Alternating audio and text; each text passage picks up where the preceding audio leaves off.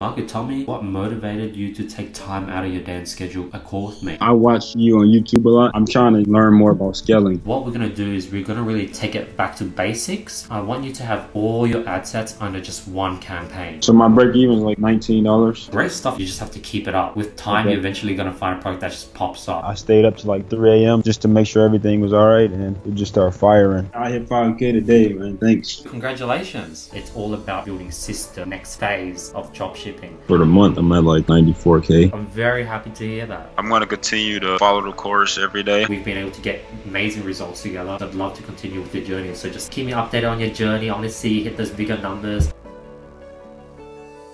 You definitely want to pick something Okay. that you're passionate about. I do love cleaning, so I'm thinking this one probably made around 250 grand. Dude, that looks sick. I have a 100% idea of what I want to do. I have the back end, everything set up. Amazing. I love this. Love the website.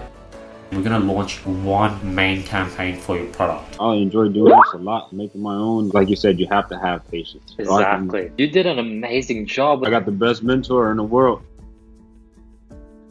Hats off to Andy and anybody thinking about doing it. I recommend it 100%.